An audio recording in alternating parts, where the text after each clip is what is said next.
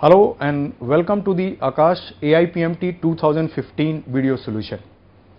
For this discussion purpose we have taken code G. And in this physics discussion the question starts from question number 91 as you can see here this question 91 reads that uh, radiation of energy E falls normally on a perfectly reflecting surface the momentum transferred to the surface is and they have given you the notation C as the velocity of light. Now see this is a standard property of a photon. You can categorize this question either in EM waves or you can say dual nature of radiation and matter. But the standard formula says that momentum of a photon that is basically energy upon C.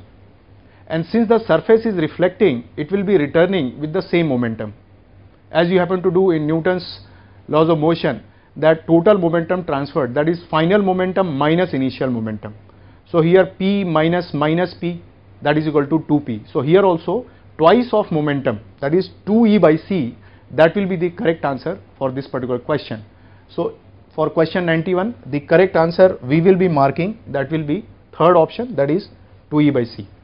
Now let us move to next question that is question 92.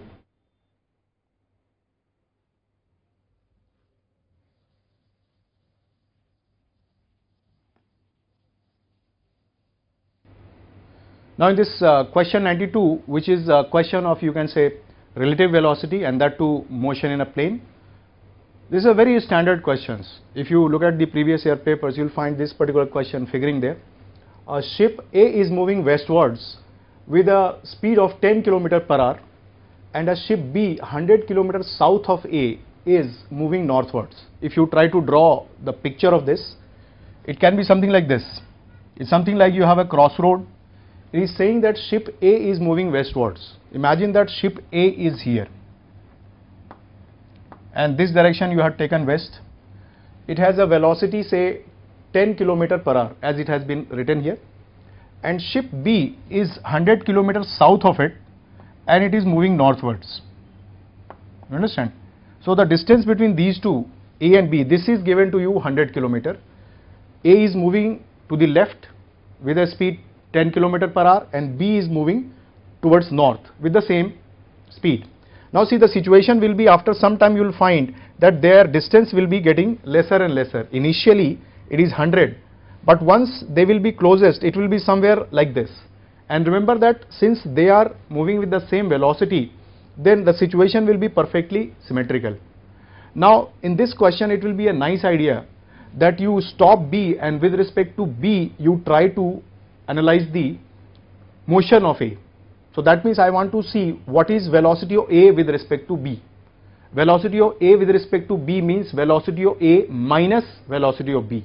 So if you try to draw that particular figure, you see this is velocity of A, this direction and minus velocity of B will be downwards, isn't it? Minus velocity of B will be downwards because initially the velocity of B is in upward direction. So this is the VAB or you can say velocity of A with respect to B and this value will be 10 root 2 kilometer per hour. Why 10 root 2? Because this is Pythagoras of that and this is 45 degree. Now what is the use of this particular velocity diagram? If you try to superimpose this thing here, you will find that in case I am trying to analyze the velocity of A with respect to B, then A will appear to me moving in this particular direction and B is stationary there. That means the shortest distance of approach will be then when A has reached the point P and the time you are supposed to calculate is the time when A has reached point P. This is what is the question.